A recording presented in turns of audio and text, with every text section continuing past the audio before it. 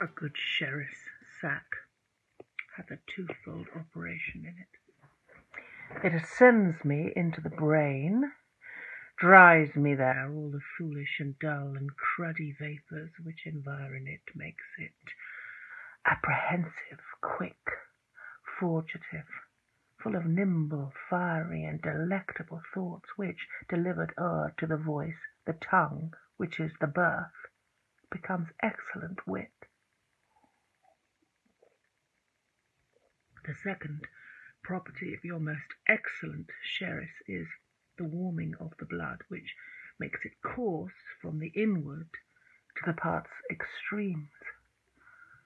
It illumineth the face, which, as a beacon, gives warning to all the rest of this little kingdom, man, to arm, and then the vital commoners and inland petty spirits muster me all to their captain, the heart, who, great and puffed up with this retinue, doth any deed of valour.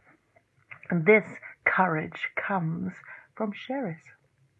Hereof comes it that Prince Harry is valiant. For the cold blood he did naturally inherit of his father. He hath like lean, sterile, and bare land, manured, tilled, and husbanded with excellent endeavour of drinking good and good store of fertile Sherris, that is become very hot and valiant. If I had a thousand sons,